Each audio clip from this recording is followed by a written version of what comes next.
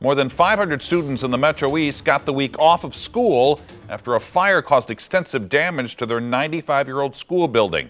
They'll likely be out of the building for several months.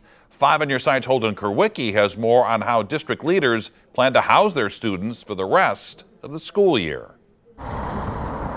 From the outside, Lewis and Clark Elementary looks like any other school in the Metro East. But inside, it's a different story.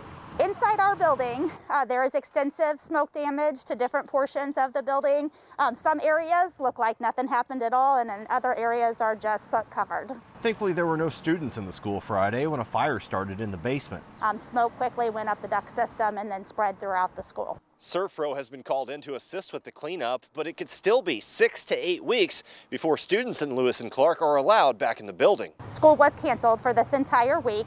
Um, we are in the process now of trying to place about 500 students. The current plan would split students between Hartford Elementary and nearby East Alton Wood River High School. It has been a logistical nightmare, um, making sure that we can fit everyone safely. Um, that trickles into transportation and shuttling. Um, of course, just like everywhere right now, we're short on bus drivers, and so we're limited with that. As the district searches for a third location, it's unclear if they even have the capability for e-learning. We just want to get them back to in-person.